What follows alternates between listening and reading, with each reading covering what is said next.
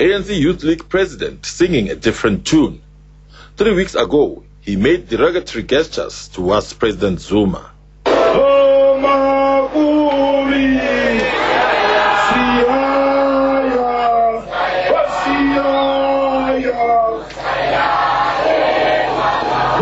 Rallying behind the ANC centenary celebrations, the ANC Youth League bearing the hatchet to honor the celebrations. The league's president urged members to be on their best behavior. He said they don't want to be remembered for disturbing the ANC's party. He then continued to say the 100 year celebrations belong to all. The ANC belongs to all of you. You must never be threatened with discipline. In the ANC, we know political discipline, not the discipline of paging those who disagree with you.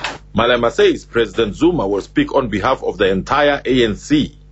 He says it's immaterial whether he will be allowed to address the main celebrations and says internal party problems must be put aside. Once those people are gone, then we go back to our issues. The league is visiting communities in Bloemfontein as part of efforts to lobby grassroots support for the weekend celebrations in Mangaung. Solofelo Matibedi for Morning Live in Bloemfontein.